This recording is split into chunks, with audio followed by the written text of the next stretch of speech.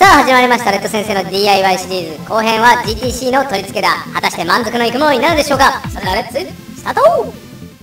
それではねいよいよ GTC の方を取り付けていきたいと思います。まず取り付ける前にですねこちら。ホーンの電源プラスですね。こちらにカプラー。こちらのカプラーの方をつけていきます。そして次にこのね鉄のプレートです。こちらのこの部分にこの平たいタイプのギボシ端子こちらの方をセットします。これがアースになります。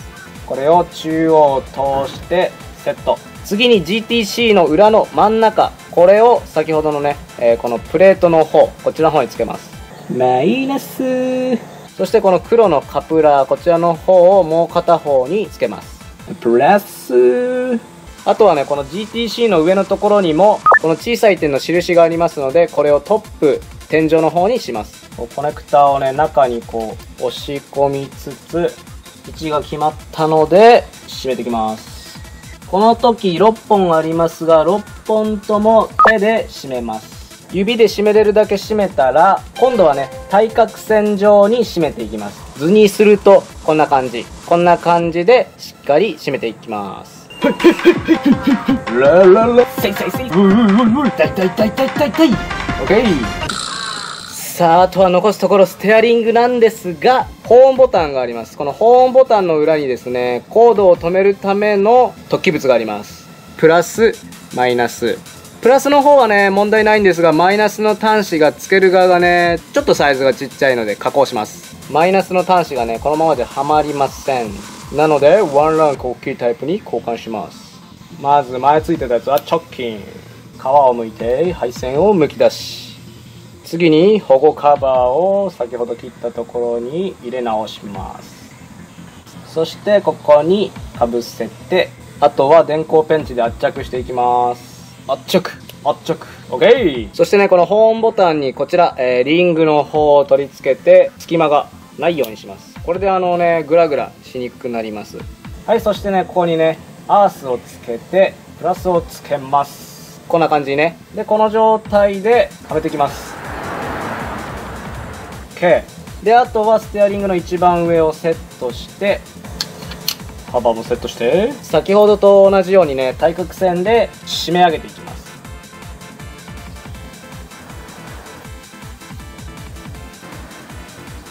はいこれでステアリング交換完了です。そして先ほど外したバッテリーをつないでホーンが鳴るかまず確認します。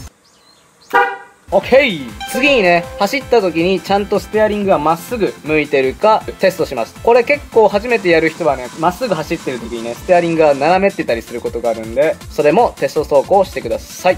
まあ私はね、ちゃんとできてますんで、そこら辺は省略させていただきます。そして皆さん、この気になる可動式、やってみましょうか。ここにトリガーがあります。このトリガーを下に引っ張ります。そしてそのままハンドルを上げると、ガシャッ。うー。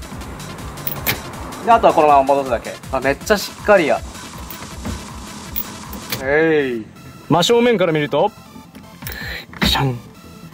えい。すごい。どこの角度でもねこうピタってね止まります。これがやっぱね安物といいやつの違いですかね。安物だとねこれがねグラグラグラグラするらしいです。そしてねこれ全開に上げてもねこの部分には触れてません。一切触れません。ちゃんとクリアランスがね取れてますねこれ。さすが GTC これ閉まるときはね、ボールベアリングでガシッてね、閉まります。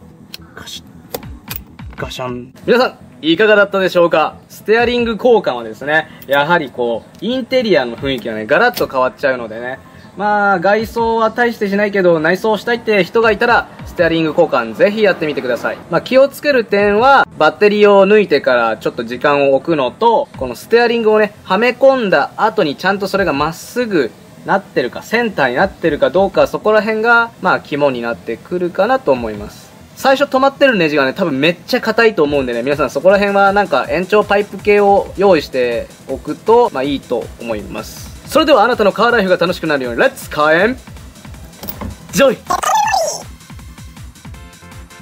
毎週金曜日夜19時より動画の方を配信してます。よかったらね、えー、不定期でねあ、動画を出すことがあるのでね、よかったらチャンネル登録よろしくお願いします。気に入った。ああ今週のおすすめの動画はこちらよ。見てね。見てね。何？うざい。動けない。あちょっと一気に入れすぎだ。ちょっとたどってる。ちょっと